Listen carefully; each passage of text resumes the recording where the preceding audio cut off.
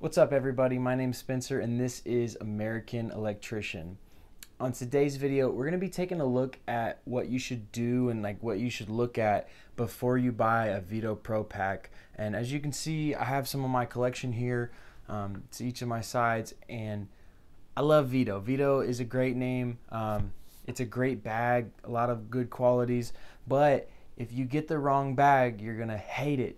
So, I am going to just tell you about some of my experiences, um, tell you what to look for, and hopefully help you make a good decision on what Veto bag you want to buy. If you're new to the channel, first of all, welcome. Secondly, I just want to let you know what we do on the channel is electrical how-tos and gear reviews such as tool bags, hand tools, power tools, you name it, we're going to do a review on it, okay? So if you guys are interested in that, go ahead and hit that subscribe button. Just to point out some of the really good features of Veto Pro Pac, number one is the hard bottom.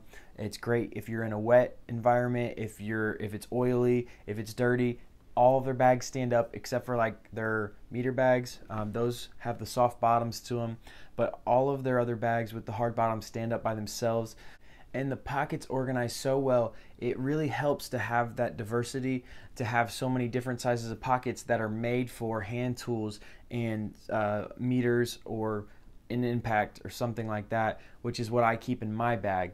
The third thing is they're so high quality, and you do have a five year warranty, which is so long. So, if you think about even the price point of a Veto Pro Pac, you have to think that that is going to last you at minimum five years with a zero downtime warranty. So, that is so great for anybody. And, and if something that you do every day, it's worth 200 or $300 to me. First things first, wait till March 1st because there's a spring promo that comes out uh, on March 1st. I don't know what it is this year. Last year it was the MP1 for tier 1 products and for tier 2 products it was the TP5B. So those are just two products that I actually got for free last year when I bought two separate bags, tier 1 and tier 2 bags. This is actually the MP1 that I got last year uh, for free, which is pretty cool. I think it was like supposed to be like 80 or 90 dollars. Uh, got it for free with a bag that was $90, which was actually this CTXL.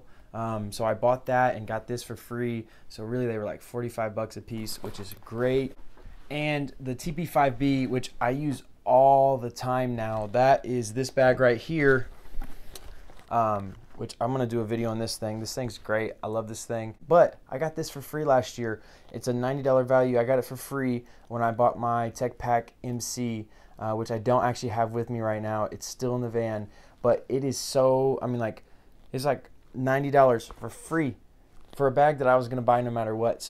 So I really suggest waiting until March uh, first to purchase. Uh, and one thing to look at with that is authorized dealers. So not every dealer is an authorized dealer. So if you actually go to Veto Pro Pac's website, you'll see um, the big thing is Amazon.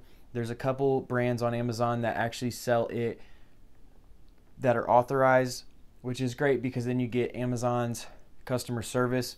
There's actually one brand on there that has Prime, and so that is fantastic.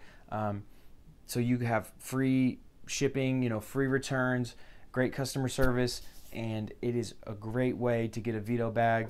I'll leave a link in the description to some of these bags. Um, that way you guys can check out what I was talking about um, from the authorized dealers. And like I said, there is if you go to fill out the warranty sheet, it'll tell you who the authorized dealers are, and you get to select your dealer, um, which you don't have to order through Amazon. You can order through that company's website. For me, it is easier to go through Amazon, especially since there's no local dealers around me anywhere. All right, now that that's over, let's talk about functionality of the bag. You really need to look at what you want in your Veto bag. For me personally, for my main bag, I love the backpacks so much for what I do, a backpack is perfect. And living in the Midwest, it snows and it rains and it does all that nasty stuff. So open tool bags are not always great for me. That's actually an issue that I have right now. Is today it snowed like 11 inches, which is crazy. But I had my TP5B inside my CTXL and I also had my backpack on, of course. And but I brought in all my power tools in my small pouch in my CTXL, and it was snowing like crazy when we got out. So all my stuff was getting snowed on because there was no cover on it. It's something to think about. Is it something that you want to be open or is it something that you want to be closed like a backpack or is it something that you need to be closed like this Veto Pro Pac MC? That brings me to my third point, which is budget. It really depends on what you have in your budget to go towards.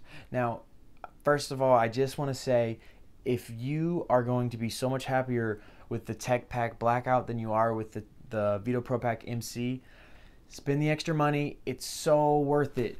Now, I have to say, if you are really contemplating it over $100, you have to think that this is going to last you for the next five years. So if it's an extra $100, $150 to go up from the Veto Pro Pac MC to the Tech Pac Blackout, just do it. If it's going to be something that you're going to be so much happier with for the next five years, you have to think like it's really not that much money compared to not being able to carry what you want for the next five years. So I really do encourage you guys just get what you want. It's totally worth it. And if you do Amazon and you order it and you hate it, just return it. It's free. I know it's really kind of crappy, but it's hard when you don't have a dealership near you to see the bag in person to hold it and to be like, this is for sure the one I want. Now, that being said, if you want something like the Veto Pro Pac MC, it's a great bag. It really carries so much. And especially if you're not carrying a bunch of hand tools, it's a great way to keep things light and to keep things closed up. Also, if you wait till March 1st, I don't know what the promo is going to be, but there will be some free gift that you can get with the Veto Pro Pac MC or any of these bags. Really, you just have to wait two more weeks from this point. If you're watching this video in March, go ahead and get it. But I am not sure when the promo ends. Thank you guys for watching. I appreciate it. If you guys haven't subscribed already, go ahead and hit that subscribe button. If this helped you with your Veto Pro Pac purchase at all, hit that like button. And I will see you guys on the next one.